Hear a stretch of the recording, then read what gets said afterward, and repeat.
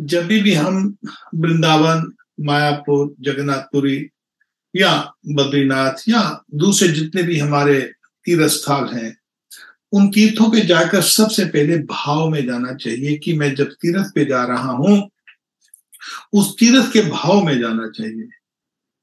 अयोध्या भी आप जाएँ या वृंदावन कहीं पर भी जाएँ, उस तीर्थ में जाते ही उस धरती को पहले प्रणाम करें।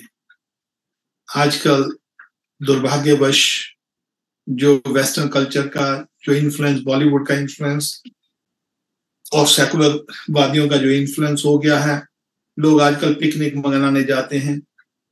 वहाँ पर मैं एक बार बद्रीनाथ गया तो हम जब उतरे, जो तो साधारण है, जितने भी वृंदावन जो रहते हैं या वृंदावन जाते हैं तो उतरते ही वृंदावन में पहले वृंदावन को प्रणाम करना चाहिए, दंडवत प्रणाम करते हैं। माताएँ जो है, वो वो पाँच अंग ज़मीन पे लगाती है। माताएँ दंडवत प्रणाम नहीं करती। दंडवत प्रणाम केवल आदमी करता है। शास्त्र में जो दंडवत प्रणाम लिखा गया है, वो भी ऊपर कपड़ा नहीं पहनते। बगैर कपड़े के दंडवत प्रणाम किया जाता है। कभी कपड़ा पहना हुआ हो तो पाँच। मस्तक, दो हाथ और दो घुटने। ये ज़मीन पर उसको प्रणाम करना चाहिए।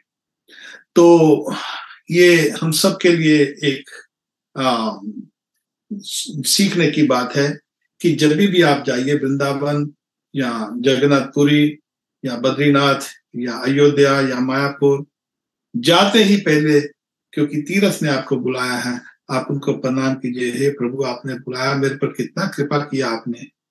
और जाती बार जब आप तीर्थ में जाते हैं तीन दिन चार दिन हफ़्ता दस दो हफ़्ते महीना दो महीना जितनी भी देर आप रहिए और जाते फिर जब जाने लगो तो तीर्थ को फिर प्रणाम करो हे मैं आया हूँ मेरे को आपकी बहुत कृपा हुई। और जो तीर्थ का जो उद्देश्य है वो साधु से मिलना है। मंदिर है काफ़ी मंदिर होते हैं दर्शन किए ठीक है मगर सबसे बढ़िया जो दर्शन है वो आँखों से नहीं होते।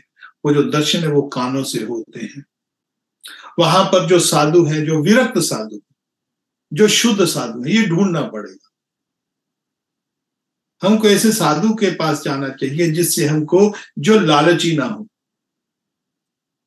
जो समझते हैं, आप समझदार हैं सब लोग तो इसी विरक्त साधु के पास चाहिए जो पूर्ण तस्न्ना विलासता शून्यम ज्ञान कन्नाव्रतम अन्नपूर्ण कृष्ण शिव भक्ति उत्तमा। जिसकी और कोई अभिलाषा नहीं, केवल कृष्ण ही प्रसन्नता है। वैसे साधु को ढूंढना चाहिए, वहाँ से उस साधु से ज्ञान लेना चाहिए। भले चारों संप्रदायों में कोई भी हो, मगर हो संप्रदायों में से। अब आप बोलेंगे, संप्रदाय में से ही क्यों साधु होना चाहिए? जैसे गैया के दूध है तो जो गैया के जो थन होते हैं, चार चार ही थन होते हैं, पांचवा थन है, नहीं गैया ने बनाया, नहीं पांचवा थन। तो चार थन भगवान ने भी चार ही संप्रदाय बनाई हैं, जब से सृष्टि रची है। उन्हीं में से आपको साधु ढूंढना पड़ेगा। खैर दंडवत प्रणाम किया चेतना महाप्रभु ने, और उसके बाद विश्राम घाट पे जाते हैं। मथुरा में आप जाइए तो वहाँ पर आज भी विश्राम घाट है। आजकल लोग जाते हैं विश्राम घाट पे या केशी घाट पे। मन दुखी होता है कई बार, जब हम देखते हैं वहाँ पर तो जब आप जाइए तो भक्ति भाव से जाइए, वहाँ पर बैठिए, वहाँ पर से नाम जप कीजिए, भक्तों के संग कीर्तन कीजिए, भक्तों के संग भागवत कीर्तन गीता का वहाँ पर प्रवचन कीजिए, सुनिए वहाँ पर। कोई और नहीं है तो चार आदमी जो मिलके जाते हैं, वहाँ पर बैठकर भागवत करिए, भगवान की कृष्ण की कथा करिए।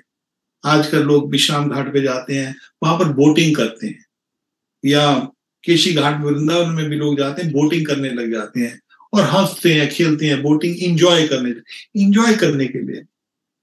वृंदावन इंजॉय करने के लिए नहीं है। वृंदावन तो भगवान की लीलाओं में डूब जाने के लिए है। भगवान की लीलाओं का स्मरण करने के लिए है। भगवान की लीलाओं को सीखने के लिए ये वृंदावन है।